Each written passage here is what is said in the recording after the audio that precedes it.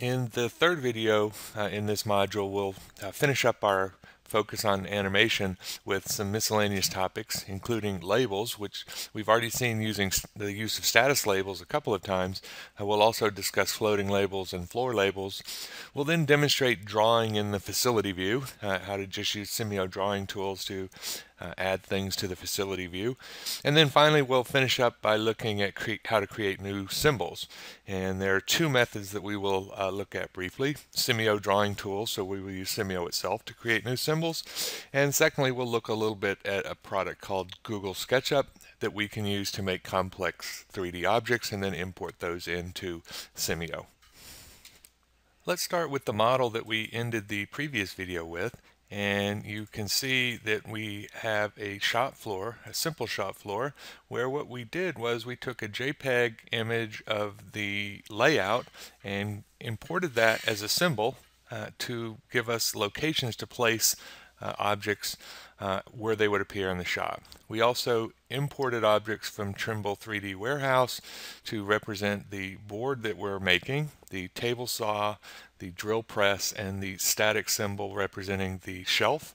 And then we moved the respective queues around, the processing queue, the input buffer queue, uh, so that we could uh, display um, the animation as you would expect to see in a real shop floor. And now what we'd like to do is use, uh, discuss the use of labels. Uh, we've seen labels previously where we attach status labels. So for example, we would select an object and we could create a status label that is connected, in this case, to the drill press object. And then we could display dynamic information such as input buffer, contents, and the status label will then uh, give the number of entities that are in the input buffer uh, for the drill press. And we also showed how we could have standalone uh, uh, status labels that were not connected to a particular object and then we could use to just uh, display uh, the results of a generic expression. So in this case I can sink one, input buffer, number entered, and so the status label uh, now shows the number of parts, uh, the number of boards in our case that depart the system. So this would be the uh, number of, of, parts produced in our shop floor. So in this case, the status information is actually uh, about a particular object, in this case sink 1, but it's not directly, the, the uh, status label is not directly connected as it is with the status label we did for the drill press. And so when I move the drill press object around, we can see that the uh, status label moves with it, and in the case of our standalone, it does not. And importantly, when I have a status label that's connected or attached to an object, we don't have to specify the object name in the expression. When we have a status label that's not connected to an object, we do have to specify uh, the object uh, in the expression, assuming that we are going to uh, uh include uh, an object in the in the expression. Uh, one other note, we can attach status labels to entities. So for example, I can go to my default entity and do the status label ID and then the status label will travel with the entity. So in this case I'm uh, displaying uh, on the label the identification number of that entity. The other types of labels that we will consider are floating labels and floor labels. And a floating label draws a, uh, a simple text string label in the facility view. So you can see I placed it uh, and well I need to stop the model first so I place my text and then I can type um, a simple string of information. This is a label and it will show up uh, similar to the labels on objects. And so when I go to 3D mode, we can see that the label um, remains upright, and so you can actually uh, see the label just like you see the, uh, the, labels are displayed just as the object labels uh, that we see uh, for the default uh, or for the objects in the standard library. The floor label allows you to draw a label that is on the floor and so you look at in 3D mode and you can see that the label uh, appears to be uh, written on the floor uh, in the facility view. And so as shown you can uh, have uh, tags so you can have bold italic you can use colors. Um, the way to edit the text uh, uh, involves two things. We're going to edit the basic text and so when we place the label you can see the syntax um, and you can type you know whatever you want. Jeff's shop floor for example. Um, and we can use colors. This is blue not typing so well today. And red. And then you can display uh, other information also. And so you can have the generic text, and it's controlled by the number of uh, characters per line. So you can increase uh, or decrease the, uh, the display size. And note also in the uh, floor labels you can display expressions uh, by using the um, braces. So I can do as uh, the example here says, time now to get the current simulation runtime and need to uh, increase my character so I can actually see it. And there's our uh, time now. So when I run the model, we can see that that uh, is increasing. So with floor labels, uh, we can have uh, an arbitrary amount of text and that incorporates uh, formatting and also incorporates um, uh, Simio expressions. Next, we'll take a look at um, drawing within the facility view. And so you have the set of drawing tools that we see here. We've seen some of the uh, labels and the symbols in, in color before. So for example, if I want to draw walls around my shop floor, I can grab the rectangle tool and draw the wall, the two-dimensional wall, and then I can specify the object height. So let's say we have a three meter wall. And then when I look in 3D mode, you, know, you can see our wall. I can then go and, well, let's draw the uh, other wall here also. So I go to my uh, left side wall and we'll also make it three meters.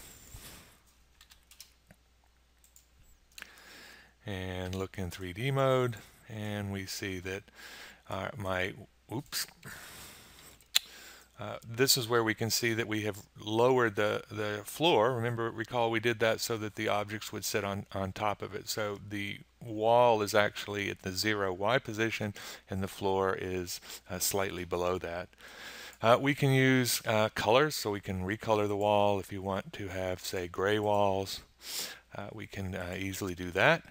We can apply textures, so if I want to have, say, a brick wall, I can apply the brick texture and you can see that it applies the texture uh, to um, the inside and outside um, of, of the wall object. So we have uh, several different uh, textures that are available um, in the default um, uh, in the default installation.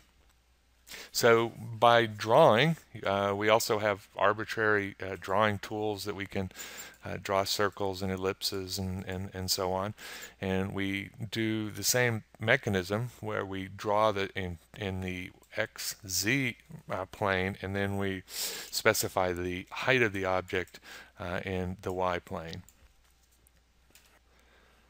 So in addition to drawing uh, or adding drawing elements to the facility view, uh, which we just did here, where we added our two walls and our uh, elliptical 3D thing, uh, we can also create our own symbols. And so if I go to Model and uh, Symbols, I can create a new symbol, and Simio brings up the uh, drawing ribbon that we saw when we were in um, that we were in the facility view. And so I can use these same tools. So for example, I can take a rectangle, create a rectangular object uh, in two dimensions, and then specify the object height. So let's make this two meters tall. And when I look in 3D, you see that I have a, um, a, a, a, uh, 3D cube type object. So I can then add uh, arbitrary curves So I can uh, have curve objects, I can have uh, closed curve objects where we create the uh, closed 3D space and specify the height. Again, let's make this two, uh, two meters and we look at this in 3D. Uh, we can see that we have our, our, our, curve object, which is only two-dimensional, and our two uh, 3D objects. And these are defined as a Simio symbol. So let's call this new symbol.